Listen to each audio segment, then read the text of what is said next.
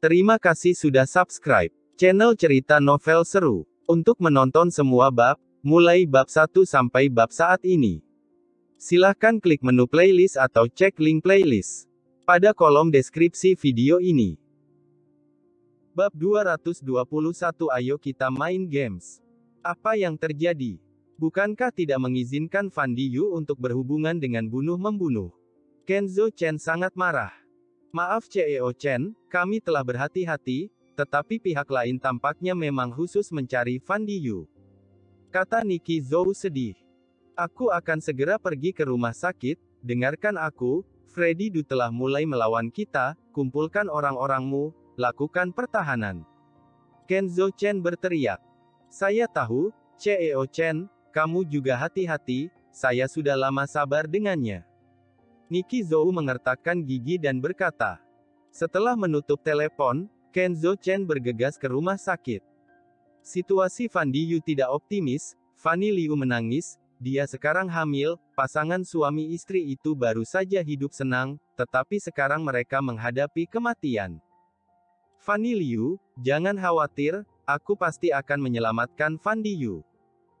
Kenzo Chen menyalahkan dirinya sendiri dan berkata, Salahkan aku, aku seharusnya dari awal memindahkannya dari tempat itu. Kenzo Chen, aku mohon padamu untuk menyelamatkan Fan Diyu, bahkan jika menggunakan nyawaku untuk menukar nyawanya juga boleh. Fanny Liu berlutut dan menangis. Kamu bangun, kamu masih mengandung anak, tidak boleh terlalu sedih, jangan khawatir, bahkan jika Raja Neraka sendiri yang datang untuk mengambil nyawa, aku tidak akan membiarkannya pergi. Kenzo Chen berteriak dengan suara yang dalam. Memasuki unit perawatan intensif, dia melihat Fan Diyu yang tubuhnya ditutupi perban. Fan Diyu ditusuki lima kali di tubuhnya dan setiap tusukannya sangat dalam, terlihat bahwa pihak itu adalah master, sekarang tidak tahu Fan Diyu akan hidup atau mati. Jimat yang diberikan oleh Kenzo Chen pun sudah meledak, dapat dilihat betapa bahayanya saat itu, jika bukan karena jimat yang diberikan oleh Kenzo Chen, dia sudah menjadi mayat sekarang. Pihak lain itu adalah seorang master, sebuah pikiran melintas di benak Kenzo Chen. Dapat membuat jimatnya meledak dan membuat Fan Yu terluka parah, orang ini jelas perlu diwaspadai. Membuka kain kasa di tubuh Fan Yu, Kenzo Chen mengeluarkan ginseng darah penyelamat hidup dan membiarkan Fan Yu memakannya, ginseng darah bisa menggantung nyawa dan mengisi energi dan darah. Fan Diyu sekarang kehilangan terlalu banyak darah, bahkan jika dia didonorkan darah, itu akan sangat melukal energinya, jadi dia hanya bisa menggantung nyawanya dengan ginseng darah seribu tahun. Menusuk sembilan jarum pengikat nyawa, dan segala macam obat berharga diberikan kepada Fan Diyu dengan gratis, Akhirnya luka di tubuh Fan Diyu perlahan sembuh, matanya juga perlahan terbuka. Apakah kamu baik-baik saja, Fan Diyu? Kenzo Chen bertanya dengan gugup. Kenzo Chen, aku baik-baik saja. Fan Diyu membuka matanya dengan susah payah, aku sudah merepotkanmu. Sudah sampai titik ini, tidak ada yang direpotkan. Kenzo Chen berkata, salahkan saya, saya seharusnya dari awal memindahkan kamu keluar dari tempat itu, kamu istirahatlah, perusahaan aku masih menunggu kamu untuk beroperasi. Baik, aku berhutang nyawa padamu. Fan Diyu menyeringai. Fan Diyu, kamu baik-baik saja kan, Fan Diyu? Fanny Liu bergegas masuk, hubungan mereka berdua benar-benar sangat baik. Tidak apa-apa, jangan khawatir, kamu pulang dan istirahatlah yang baik. Masih ada anak kita di dalam perut kamu. Fan Diyu memaksakan senyum. Fanny Liu memegang erat tangan Fan Diyu dan menangis dengan kuat, pasangan suami istri itu saling berpelukan dan menangis. Kenzo Chen diam-diam menutupi pintu dan berjalan keluar, setelah keluar, muncul sedikit niat membunuh di wajahnya. Fan Diyu adalah sahabatnya, dan ketika dia hidup susah sebelumnya, Fan Diyu yang juga hidup susah bisa mengumpulkan uang puluhan ribu untuk dia berjudi. Ketika hidupnya lebih baik sedikit, dia malah ditusuk seperti ini, dan hati Kenzo Chen tidak bisa menahan amarah ini. Dan pihak lain sengaja memilih orang-orang yang memiliki hubungan baik dan paling dekat dengannya, Freddy Du benar-benar gila kali ini. Sky, bantu aku cari orang yang melukai Van Yu, lalu memberitahuku lokasinya, aku kan pergi sendiri untuk menyelesaikannya. Kenzo Chen berkata dengan dingin. Baik bos, beri aku sedikit waktu. Kata Van Yu. Setelah menutup telepon, Kenzo Chen berjalan keluar, tetapi begitu dia tiba di pintu, nomor yang tidak dikenal menelepon. Kenzo Chen. Pihak lain tersenyum. Siapa kamu? Kenzo Chen berhenti karena dia mengenali olok-olok dalam nada pria itu. Seolah-olah Kenzo Chen sekarang adalah mangsanya, dia bisa memantau Kenzo Chen setiap saat. Victor, ini namaku di luar negeri, kupikir kamu seharusnya pernah mendengar tentangku. Suara serak itu tidak bisa menahan tawa. Victor. Kenzo Chen merenung, dia menggelengkan kepalanya dan berkata, Maaf, saya belum pernah mendengar tentang kamu, kamu yang menusuk teman saya sampai seperti ini. Kamu belum pernah mendengar tentang aku.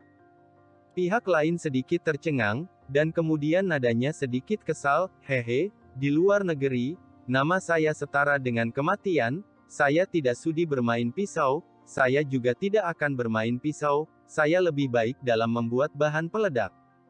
Surat kilat istriku hari ini, apakah kamu yang mengirimkannya? Ekspresi Kenzo Chen menjadi sedikit dingin. Benar, awalnya aku ingin memberimu kejutan kecil, tapi sayangnya ketahuan oleh kamu, jadi aku harus menggeser target. Kata Peter sambil tersenyum. Siapa yang kamu lukal? Nada suara Kenzo Chen membawa sedikit niat membunuh. Jangan gugup, pihak lain tersenyum sedikit, aku hanya ingin bermain game denganmu, game yang mendebarkan. Kamu ingin bermain dengan cara apa? Kenzo Chen bertanya. Dengarkan suara ini. Pihak lain mengubah ponsel menjadi hands-free, dan suara Melinda Ning terdengar, Kenzo Chen, kamu jangan datang. Melinda. Pandangan Kenzo Chen tiba-tiba menjadi dingin. Melinda Ning adalah orang yang paling dia sayangi, karena dia telah berkorban terlalu banyak untuk dirinya, perasaan kehidupan masa lalu dan sekarang menyatu, Kenzo Chen tidak mengizinkan siapa pun untuk menyakitinya. Benar, Melinda Ning, kamu pasti ingin tahu di mana dia sekarang. Victor tertawa. Ada masalah apa cari aku saja, jangan lukai dia. Kenzo Chen berkata dengan dingin. Haha, kamu sangat peduli padanya. Kalau begitu jadi lebih menarik. Victor tersenyum, sekarang di tangan dan di dada dia ada bom yang saya buat. Jangan khawatir, bom di tangan dan kakinya tidak begitu kuat, satu kali hanya bisa meledakkan satu tangan atau satu kaki dia, tapi bom di dadanya relatif kuat dan bisa meledakkan sebuah rumah. Victor tertawa, ayo bermain. Bagaimana cara bermain? Aku akan menemanimu. Kenzo Chen berkata dengan suara yang dalam. Turunlah, ada mobil untukmu, kendarai mobil ini, tidak peduli cara apa yang kamu gunakan, dalam 10 menit harus sampai di rumah besi dengan jarak 10 km sebelah barat rumah sakit, di sana ada petunjuk yang kamu inginkan. Kata Victor sambil tersenyum. Ini adalah rumah sakit, waktu ini adalah waktu yang paling macet, 10 menit. Kenzo Chen sangat marah. Benar, 10 menit. Kenzo Chen, ini akan jadi menarik jika kamu bisa melakukan hal yang mustahil dalam waktu yang ditentukan. Victor tertawa, dengar, kamu tidak punya waktu untuk tawar-menawar denganku, sekarang, waktu dimulai. Plak, Kenzo Chen menutup telepon, dia dengan cepat pergi, dan kemudian melihat sebuah mobil dengan pintu terbuka di dekat pintu. Masuk ke dalam mobil, Kenzo Chen menginjak pedal gas, Sementara dia juga menelpon Heng Ren, mulai sekarang, saya ingin kamu pastikan bahwa tidak ada mobil satupun di dekat sekitar 10 km di sebelah barat rumah sakit pusat. Bab 222 Segerombolan Serigala Saat ini adalah waktunya macet parah, apa yang kamu lakukan? Heng Ren bertanya dengan bingung. Jika kamu masih ingin melihat Melinda Ning, lakukan saja apa yang aku katakan. Kenzo Chen berkata dengan dingin. Untuk apa ini sebenarnya? Jangan tanya, tidak ada waktu lagi untuk menjelaskan padamu, aku harus sampai di sana dalam waktu 10 menit, jika tidak. Kenzo Chen Samapi di sini berhenti berbicara dan tidak ingin lanjut lagi. Segera. Heng Ren mengertakkan gigi dan menutup telepon. Kenzo Chen meninggalkan rumah sakit dalam tiga menit. Mobil di rumah sakit terlalu banyak, lalu dia berkendara ke arah barat. Harus diakui bahwa kerja Heng Ren juga cukup cepat, Kenzo Chen pergi ke arah barat sepanjang jalan adalah lampu hijau, dia menginjak pedal gas dan terus melaju, akhirnya, sebuah rumah besi muncul di hadapannya. Tiba-tiba menginjak rem, Kenzo Chen mendorong pintu dan keluar, tetapi ketika dia mendorongnya, pintu tidak bisa dibuka. Krek-krek, pintu otomatis terkunci, kemudian lapisan kaca anti peluru yang tebal naik, dan Kenzo Chen sekarang benar-benar terkunci di dalam mobil. Kenzo Chen mengeluarkan ponselnya dan mensubscribe channel cerita novel seru. Kenzo Chen sangat marah, dia membanting kaca anti peluru, boom, kaca tidak pecah sama sekali, ini adalah kaca anti peluru khusus, lebih keras dari baja, pukulan Kenzo Chen pukulan kali ini tidak berhasil. Dia meraih dengan tangan kanannya, pedang Liken muncul di tangannya, kemudian dengan suara yang dalam, pedang tertusuk keluar. Tertawa. Suara yang melengking, disertai semburan cahaya kilat, suara yang keras, pintu mobil dipotong oleh pedang Kenzo Chen, dia meninju pintu mobil hingga terbang dan bergegas ke rumah besi itu. Rumah itu adalah rumah besi yang ditinggalkan, Kenzo Chen baru saja keluar dari mobil, ponselnya berdering lagi. Ke mana lagi selanjutnya? Kenzo Chen mengangkat tangannya dan berteriak. Hehe, bagus, ternyata aku tidak bisa menjebakmu, tapi kamu tunggu saja, ada kejutan yang menunggumu di dalam ruangan. Kata Victor sambil tersenyum. Setelah menutup telepon, di dalam ruangan itu ada lebih dari sepuluh pasang mata hijau yang mengalir keluar dari kegelapan, dan mata hijau ini secara bertahap mendekati Kenzo Chen, melalui cahaya yang sedikit, pupil Kenzo Chen sedikit mengecil. Hanya terlihat lebih dari sepuluh ekor serigala berdiri di depannya, serigala-serigala ini sepertinya sudah lama lapar, dan mata mereka hijau. Melihat Kenzo Chen masuk, serigala-serigala ini perlahan mendekati Kenzo Chen, dan Kenzo Chen dengan jelas merasakan niat membunuh di mata serigala ini. Dia perlahan mundur beberapa langkah dan menarik napas perlahan-lahan. Tiba-tiba, seekor serigala melolong dan bergegas menuju Kenzo Chen, mengulurkan cakarnya yang tajam untuk menerkam Kenzo Chen ke lantai. Serigala jahat ini, jika diterkam mereka, tubuh pasti akan terpotong-potong dalam waktu sebentar saja. Kenzo Chen teriak dengan keras, dengan keras meninju ke depan, kepala serigala yang berlari di depan dia hancur oleh pukulannya. Tangan Kenzo Chen yang dikepal kemudian dibuka untuk menyambut segerombolan serigala jahat ini, kemudian tangan kanannya bergerak, bum bum bum, dan enam telapak tangan menamparkan enam kepala serigala secara bergantian, enam serigala dipukul oleh Kenzo Chen, dan mereka jatuh ke tanah satu persatu, mata mereka merah dan sudah mati. Kenzo Chen juga tidak ingin bergulat dengan sekelompok binatang buas ini, tangan kanannya meraih, dan pedang liken muncul di tangannya lagi, dia menyapu ke depan, muncul cahaya kilat, disertai dengan ratapan serigala di ruangan itu, dan serigala yang masih hidup jatuh ke lantai satu persatu. Begitu tangan kanan ditutup menyimpan pedang liken, pada saat ini, lampu di ruangan itu juga dinyalakan satu persatu, dan terlihat mayat serigala penuh di tanah. Bagus-bagus, jika aku ada di sana, aku pasti akan bertepuk tangan untukmu. Victor menelpon lagi, dan dia berkata sambil tersenyum, selanjutnya aku akan memberi tahu kamu alamatnya, kamu dengar dengan baik, aku hanya akan mengatakannya sekali. Katakanlah. Kenzo Chen berkata dengan datar. Sebuah pabrik yang sudah ditinggalkan di daerah kota, sampai dalam waktu setengah jam, ingat, kamu hanya diizinkan untuk datang sendiri, saya akan selalu memantau gerakan kamu, jadi jangan main-main. Jangan khawatir, aku pasti akan pergi sendiri. Kenzo Chen berkata dengan dingin, tapi kamu harus menjamin dia tidak akan terluka, jika kamu berani menyakiti dia sedikit pun, aku akan membunuhmu. Kenzo Chen, aku tidak suka temperamenmu yang buruk ini. Victor tersenyum, sekarang keputusan selalu ada di tangan aku, apakah kamu berani mengancam aku? Aku masih mengatakan kalimat tadi, lebih baik kamu jamin dia baik-baik saja, maka aku juga bisa menjamin bahwa kamu baik-baik saja, jika tidak, kamu akan mati dengan sangat menyedihkan. Plak. Pihak lain menutup telepon, Kenzo Chen berbalik badan dan keluar. Setelah keluar, mobil sebelumnya yang dipotong oleh Kenzo Chen, sekarang sudah tidak bisa dikendarai lagi, dan ketika sedang berpikir untuk mendapatkan mobil, beberapa mobil polisi datang dengan cepat, mobil paling depan berhenti, dan Heng Ren buru-buru turun. Kenzo Chen, apa yang terjadi? Heng Ren berteriak. Datang tepat pada waktunya, beri aku mobil, aku harus sampai ke tempat yang ditentukan dalam waktu setengah jam. Kata Kenzo Chen.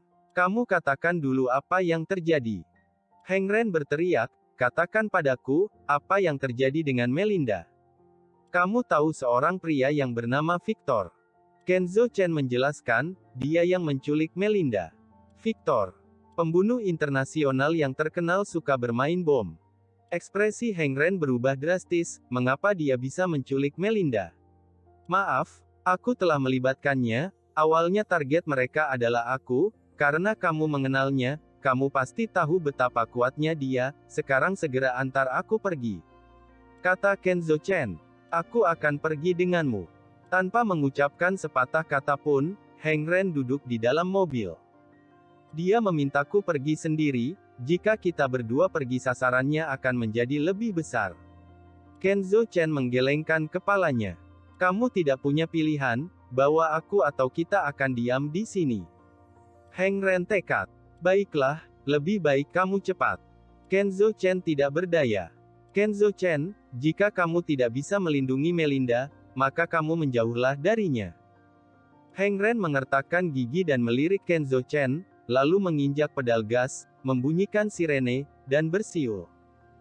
Kenzo Chen merasakan arti kata-kata Heng Ren, dan dia menghela nafas perlahan, tetapi sebenarnya yang dikatakan Heng Ren masuk akal. Di mana?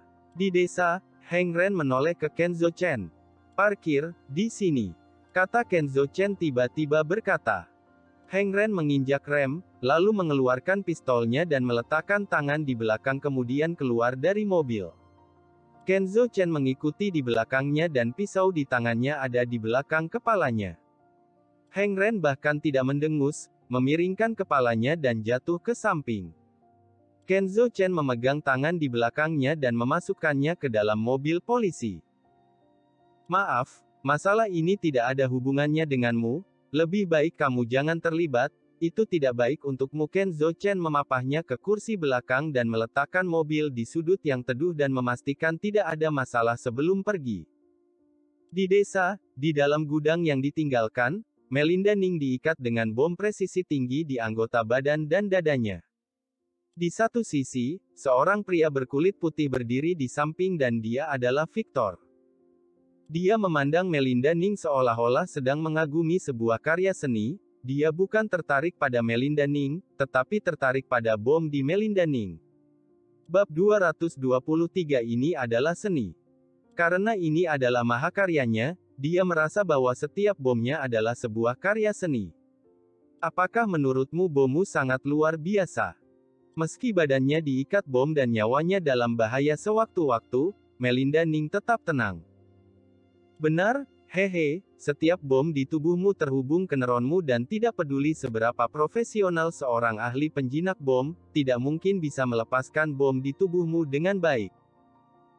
Victor memejamkan mata dan membuka tangannya, ini benar-benar karya seni yang sempurna, selama emosimu memiliki kesedihan dan kegembiraan yang besar, atau ada fluktuasi yang kuat, maka bom ini akan diledakkan satu demi satu. Kamu meminta Kenzo Chen datang karena kamu ingin kami mati bersama. Melinda Ning menatap Victor dengan dingin. Benar, aku tahu apa yang ingin kamu lakukan, kamu ingin menangis sekarang, meluapkan emosimu dan meledakkan bom, kemudian Kenzo Chen tidak perlu mempertaruhkan nyawanya untuk menyelamatkanmu lagi. Victor tersenyum dan berkata, tidak berguna, Nona, saya memiliki sensor di sini, Kecuali saya mematikan sensor, jika tidak juga tidak ada gunanya kamu menangis. Kamu benar-benar jenius, Melinda Ning menarik napas dalam-dalam, semuanya telah dipersiapkan olehmu. Benar, semuanya di bawah kendaliku, Kenzo Chen pasti akan datang, penghalang yang aku buat untuknya bukanlah apa-apa, bom ini tidak bisa dibongkar sama sekali, kecuali kamu mati, jantungmu berhenti, maka bom ini bisa dilepaskan. Victor tertawa, jadi kalian berdua bisa mati bersama. Lalu apakah saya masih harus berterima kasih padamu? Melinda Ning menatap Victor, terima kasih telah membiarkan kami berdua mati bersama. Tidak perlu berterima kasih, aku tahu kamu menyukainya. Victor tersenyum, dia melihat waktu dan berkata, Yah, dia seharusnya sudah mau sampai. Victor baru saja berbicara, Kenzo Chen sudah masuk ke gudang, dan Victor dengan cepat mundur untuk menjauhkan diri dari Melinda Ning, dan dia telah mematikan sensor. Sekarang setiap kali suasana hati Melinda Ning berfluktuasi, bom itu akan meledak. Melinda Ning mengertakkan gigi dan mencoba yang terbaik untuk mengendalikan emosinya dan tidak membiarkan emosinya menunjukkan kesedihan dan kegembiraan yang luar biasa. Sebenarnya, dia dibawa ke sini oleh pria ini, diikat dengan bom, dia sudah ketakutan setengah mati, dan dia tidak bisa menahan tangis ketika dia melihat Kenzo Chen, tetapi dia hanya bisa terpaksa menahan diri sekarang. Kenzo Chen, jangan kemari. Melinda Ning mengertakkan gigi dan berkata, aku tidak boleh mengalami perubahan suasana hati, kalau tidak bom akan meledak. Aku tahu, aku sudah mendengarnya, jadi kamu jangan terbawa emosi. Kata Kenzo Chen sambil berjalan menuju Melinda Ning. Bukankah aku bilang kamu jangan datang? Melinda Ning terkejut, dan begitu emosinya berfluktuasi, hitungan mundur di tubuhnya tiba-tiba menjadi lebih cepat. Jangan emosi, aku punya cara. Kenzo Chen berhenti melangkah, kamu tutup matamu, jangan lihat aku. Melinda Ning memejamkan mata dengan perlahan, mencoba menenangkan pikirannya, dan Kenzo Chen perlahan berjalan ke depan. Hehe, bagus. Victor menatap Melinda Ning, layak menjadi pengacara, kualitas psikologisnya sangat bagus, masih bisa menjaga ketenangan seperti itu sekarang, tapi ya. Bagaimana menurut kamu jika aku menembak Kenzo Chen beberapa kali? Victor sudah tambah satu senjata lagi di tangannya, dan dia mengarahkannya ke Kenzo Chen. Kenzo Chen meraih tangan kanannya, dan pedang Liken muncul di tangannya, menatap Melinda Ning dan berkata, lihat mataku. Aku sedang lihat. Napas Melinda Ning agak cepat. Apakah kamu percaya? Saat dia menembak, aku bisa memotong tangannya. Kata Kenzo Chen sambil tersenyum tipis. Aku percaya. Melinda Ning menatap mata Kenzo Chen dengan fokus. Ini semakin menarik, Kenzo Chen, kamu sombong, Apakah kamu benar-benar berpikir kamu bisa lebih cepat dari pistol di tanganku? Victor tersenyum sambil perlahan membidik Kenzo Chen. Alasan mengapa dia tidak menembak adalah untuk memberikan tekanan psikologis pada Melinda Ning, dan jika Melinda Ning benar-benar tidak tahan, bom di tubuhnya akan meledak. Aku akan mulai. Kenzo Chen berkata pada Melinda Ning sambil tersenyum. Kamu hati-hati. Melinda Ning perlahan menutup matanya. Tiba-tiba, begitu Victor mengangkat tangan dan hendak menembak, saat dia mengangkat pistolnya, Kenzo Chen bergerak. Dengan jentikan tangan kanannya, pedang Liken melarikan diri, dan hampir pada saat yang sama, suara tembakan terdengar, dan pistol di tangan Victor menembakkan peluru. Ting! Pedang Liken memotong peluru menjadi dua, dan pedang Liken terus pergi, dan dengan suara lembut, tangan kanan Victor dan pistol di tangannya dipotong oleh pedang di tangan Kenzo Chen. Pada saat yang sama, Kenzo Chen menjentikkan tangan yang lain, dan jarum perak secara akurat menembus titik akupuntur Melinda Ning, pandangannya menjadi hitam dan miring ke satu sisi. Kenzo Chen dengan cepat mengoleskan jarum, dan enam jarum perak berbaris. Victor melihat tangannya dengan tidak percaya, dia tersandung mundur beberapa langkah, terjatuh di lantai, dia tidak pernah bermimpi bahwa teknik Kenzo Chen akan begitu cepat. Peluru pun tidak bisa melukainya. Itu tidak mungkin. Tetapi fakta ada di depannya, dan dia tidak bisa mempercayainya. Hehe, Kenzo Chen, kamu tidak bisa membongkar bom ini. Victor berkeringat dingin, dan dia menahan rasa sakit dan tersenyum kejam, Kenzo Chen, kamu menyerah saja, bom ini adalah mahakaryaku yang paling aku banggakan. Apa pun yang kamu sentuh, dia juga akan meledak, kecuali Melinda Ning mati, sensor akan berhenti, jika tidak setelah setengah jam, bahkan jika suasana hati Melinda Ning dipertahankan dengan baik, juga akan meledak. Kamu benar-benar berpikir kamu jenius. Kenzo Chen berjalan ke arahnya, mengangkat pedang Liken, dan meliriknya. Benar, aku memang jenius, dia pingsan sekarang kan, hehe, tidak ada gunanya, pernapasan akan stabil setelah pingsan, sensor saya terhubung ke neuronnya, jika dia terlalu stabil secara emosional, bom juga akan meledak, 3 menit, hanya 3 menit. Siapa yang memberitahumu dia pingsan? Kenzo Chen tertawa. Ada banyak cara dalam pengobatan Cina untuk memalsukan kematian, dan dia sekarang dalam keadaan mati suri. Apa katamu? Wajah Victor berubah total. Situasi mati surinya sama dengan kematian sungguhan, aku menjinakkan bom dan kemudian melepas jarumnya, dia akan hidup kembali, dan sesederhana itu untuk menjinakkan bom ini. Wajah Victor berubah-ubah, dia sangat frustasi, ya dia selalu berpikir dia jenius, bagaimana mungkin sesuatu yang dirancang oleh jenius akan ada cacat. Bomnya dapat menghubungkan neuron manusia, tidak peduli emosi yang terlalu tenang atau ada kesedihan dan kegembiraan yang hebat, itu akan menyebabkan bom meledak, dan hanya ada satu cara untuk membunuh bom tersebut. Tapi Kenzo Chen dengan mudah menjinakkan bomnya dengan cara ini, ini membuat kesenjangan psikologisnya terlalu besar. Setelah melepas jarum perak, Tangan kanan Kenzo Chen menepuk tubuh Melinda Ning beberapa kali, dan benar saja, Melinda Ning yang tidak bernafas bangun perlahan. Kenzo Chen. Melinda Ning memegang tangan Kenzo Chen dengan erat. Tidak apa-apa, semuanya sudah terselesaikan. Kenzo Chen tersenyum tipis dan menjabat tangannya sebagai tanda kenyamanan. Kenzo Chen, kamu mungkin belum cukup mengenalku. Victor di samping tiba-tiba tertawa, tangannya satu lagi yang utuh menyentuh pinggangnya, dan mengeluarkan pistol. Bab 224 Kamu belum cukup mengenalku. Apa lagi yang ingin kamu lakukan? Kenzo Chen menatap Victor, dia tiba-tiba merasa ada yang tidak beres, orang yang percaya diri dengan teknik bomnya ini tidak akan menerima kegagalan, apakah dia memiliki cara lain lagi? Victor mengambil pistol dan mengarahkannya ke kepalanya, senyum sinis muncul di wajahnya. Apa yang ingin kamu lakukan? Kenzo Chen menatap Victor dan melindung Melinda Ning. Rumah ini penuh dengan bom, dan memiliki kekuatan untuk meratakan seluruh gudang hingga rata dengan tanah. Victor tersenyum jahat, tapi bedanya kali ini bom itu melekat padaku, dan begitu aku mati, bom itu akan meledak. Kamu benar-benar cabul. Kenzo Chen kaget, pria ini begitu kejam, bahkan dia mempertaruhkan dirinya sendiri. Dia meraih Melinda Ning dengan satu tangan dan dengan cepat berlari keluar.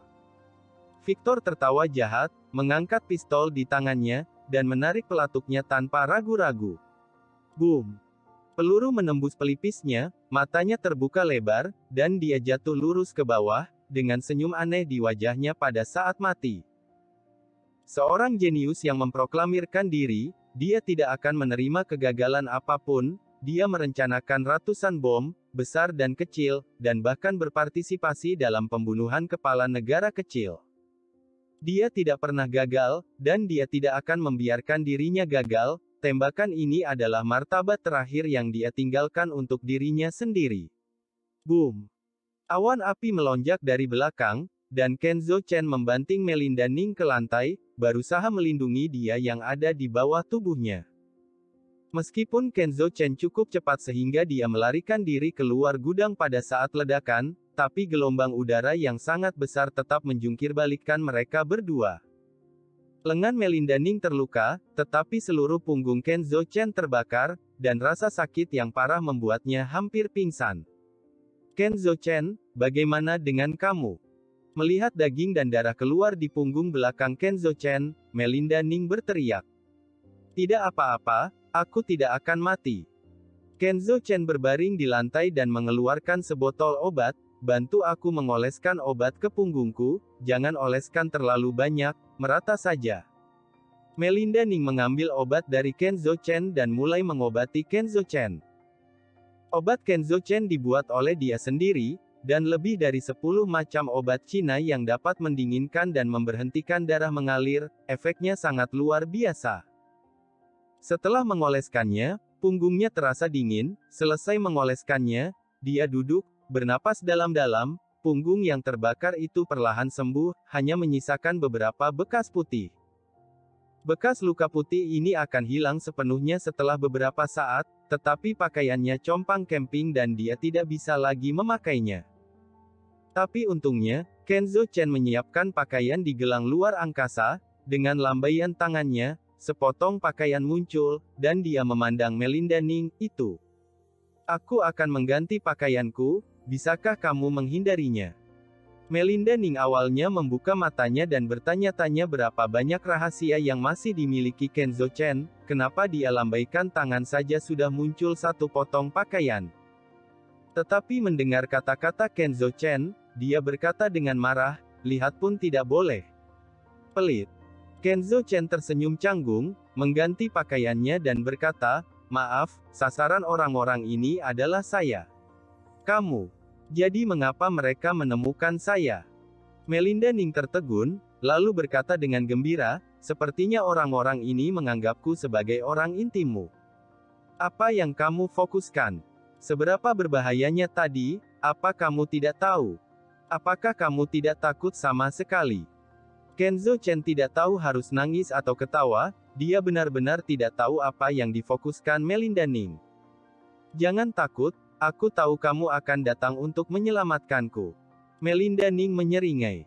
Ayo pergi, aku akan mengirim seseorang di sisimu untuk melindungimu, hati-hati dalam beberapa hari terakhir. Kenzo Chen menarik Melinda Ning untuk pergi. Kenzo Chen. Pada saat ini, Heng Ren yang marah datang. Kamu sudah bangun. Kenzo Chen melirik Heng Ren dengan heran, dia pikir anak ini akan tidur setidaknya beberapa jam, tetapi tidak sangka dia begitu cepat bangun.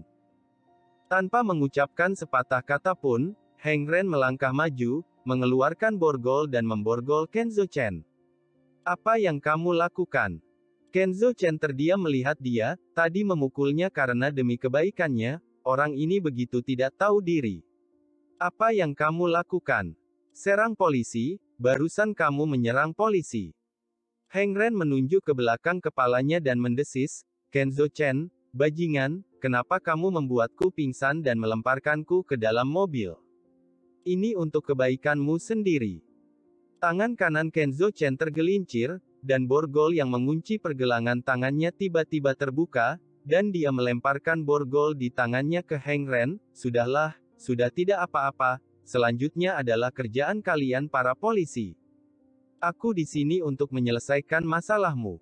Kenzo Chen, kenapa kamu begitu aneh? Heng Ren sangat marah. Sudah, dari mana kekuatan besar kamu?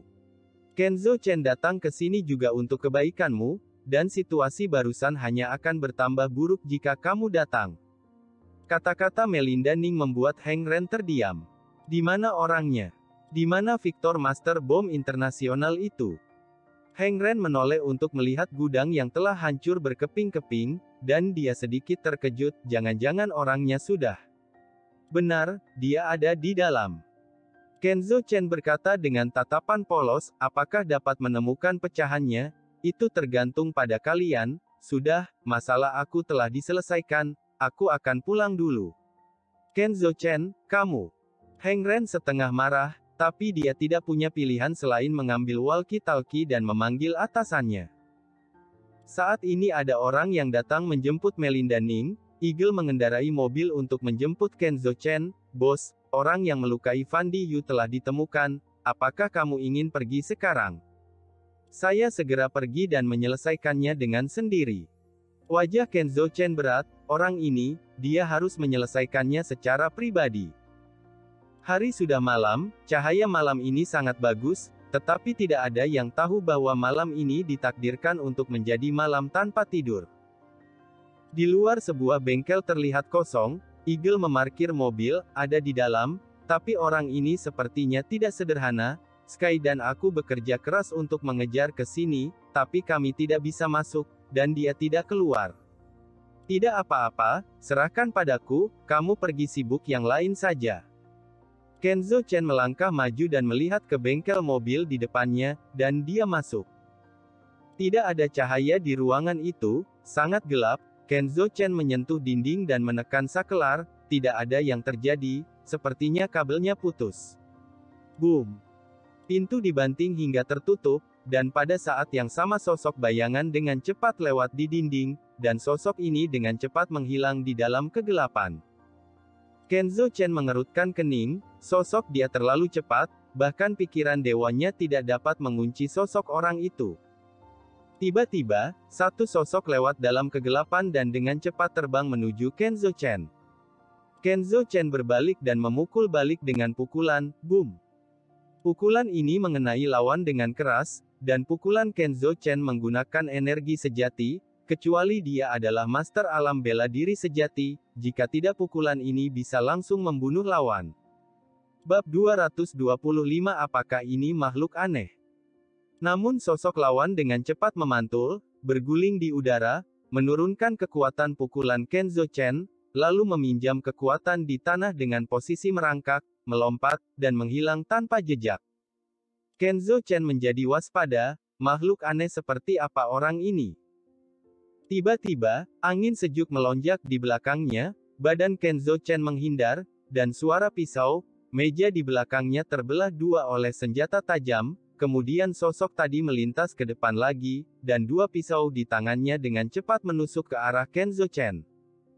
Dengan dua kali suara pisau lagi, pakaian Kenzo Chen berlubang, pria itu melompat lagi dan dengan cepat menghilang ke dalam kegelapan. Kenzo Chen mencibir, sosok orang ini cukup cepat, tetapi dia tidak berniat melawan dia, dan ada aura gelap samar pada orang ini, sepertinya dia bukan orang sembarangan, dia membalikkan tangan kanannya, dan tiga kertas jimat telah muncul di tangannya. Huh! Kegelapan menyelimutinya lagi, dan pada saat yang sama dua pisau tajam datang ke arahnya. Kenzo Chen mundur selangkah tanpa tergesa-gesa, dua pisau di tangan lawan jatuh, Kenzo Chen memotong dengan pisau yang ada di tangannya, pisau di tangannya jatuh ke lantai, dan pada saat yang sama tiga kertas jimat melayang di udara, dan tiga api tiba-tiba menyala. Bengkel besar itu tiba-tiba menyala, tiga api adalah tiga api yang zeng, Cahaya yang dipancarkan sama dengan matahari, di bawah tiga cahaya jimat ini, kegelapan apa pun tidak dapat disembunyikan. Wajah asli sosok itu juga terlihat di mata Kenzo Chen. Dia tidak tinggi, kurus, mengenakan setelan serat dengan elastisitas yang sangat baik, dan wajahnya pucat. Hanya saja di bawah penerangan tiga api yang zeng, asap biru tersembur di wajahnya dan di kulitnya yang terbuka. Dengan desisan tajam dari mulutnya, dia terus menghindar ke sudut gelap, tetapi begitu Kenzo Chen memimpin tangan kanannya, tiga api jimat mengikuti sosoknya di udara, dan ke mana pun dia bersembunyi, api jimat mengikuti dia pergi. Dia menggigil dan tidak bisa bersembunyi di bawah kecemerlangan tiga api yang zeng.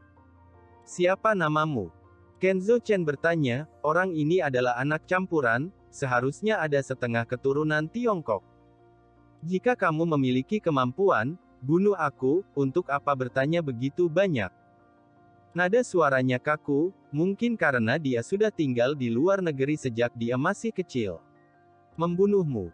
Ini sangat mudah, menempatkan kamu di bawah bulan atau matahari, dan kamu akan segera membusuk, meleleh, dan akhirnya menjadi tulang putih. Kenzo Chen mencibir, serangga malang yang hanya bisa hidup dalam kegelapan. Apa katamu?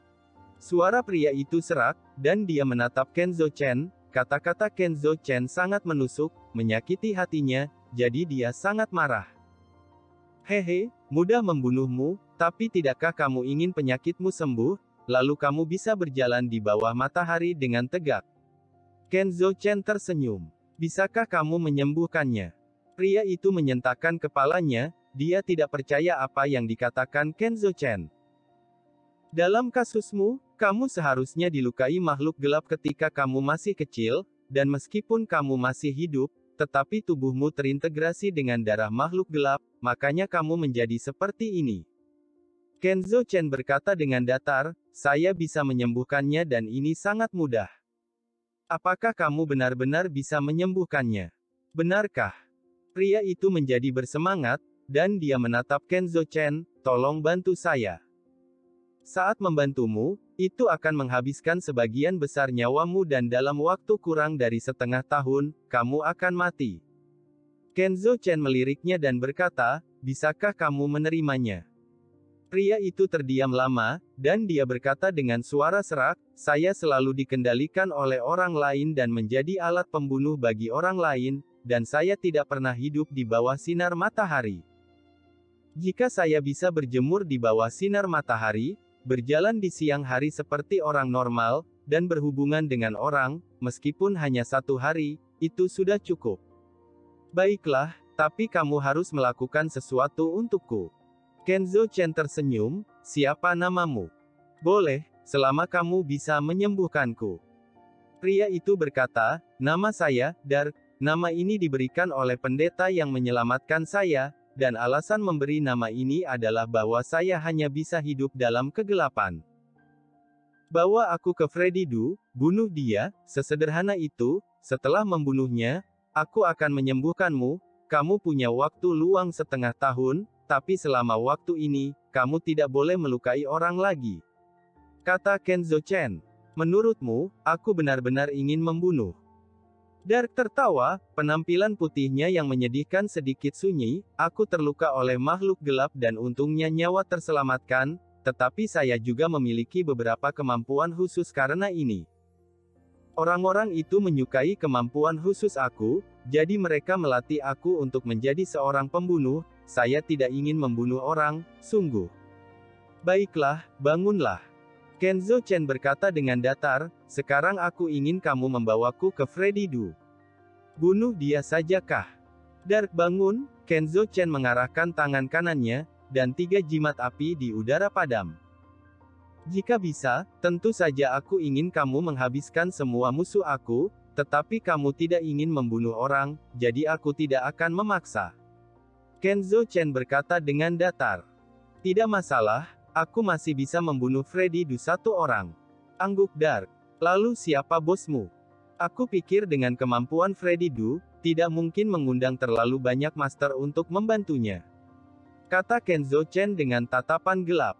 Bos aku adalah Freddy Du. Diam-diam menggelengkan kepalanya dan berkata, atau lebih tepatnya, majikan aku hanya menyuruh aku mematuhi Freddy Du, yang lainnya aku tidak tahu lagi. Sepertinya di belakang Freddy Du, ada kekuatan yang sangat tidak biasa. Kenzo Chen mencibir, kalau begitu, maka aku tidak perlu bersikap sopan dengan Freddy Du. Bos, aku menemukan jejak Freddy Du. Eagle menelpon. Aku akan menemuinya. Kata Kenzo Chen. Baik, aku akan pergi dengan Sky dan beberapa dari mereka, Pertama-tama bersihkan jalan untuk bos, dia memiliki tentara bayaran elit di sisinya yang melindunginya. Jelas elang. Baiklah, kalian tetap hati-hati. Kenzo Chen berkata dengan datar. Jangan khawatir, bos, meskipun orang-orang ini sangat kuat, tapi mereka jauh lebih buruk daripada beberapa dari kita yang pernah bertemu di luar negeri. Eagle menyeringai. Di desa, jauh di pegunungan, sebuah manor pribadi. Lokasi manor ini sangat rahasia, bahkan tidak ada desa di sekitarnya, dan tidak ada yang tahu bahwa ada manor mewah di tempat ini. Apalagi tempat ini dikelilingi tebing di tiga sisi, dan hanya jalan kecil yang tidak terlalu lebar bisa dinaikin, dan pegunungan di sini curam dan aneh, mudah melakukan pertahanan dan sulit diserang. Tempat ini adalah tempat berlindung yang dibangun Freddy Du untuk dirinya sendiri, dan yang di tengahnya terbuat dari semen dan baja yang sangat kuat. Orang ini sendiri adalah penjahat, dulunya ketika pengawasannya tidak ketat, orang ini berani melakukan apa saja. Menyelundupkan senjata, perdagangan narkoba, dan bersaing dengan pasukan luar negeri untuk mendapatkan wilayah, jadi dia merasa harus memiliki tempat tinggal yang aman. Bab terima kasih sudah subscribe channel cerita novel seru.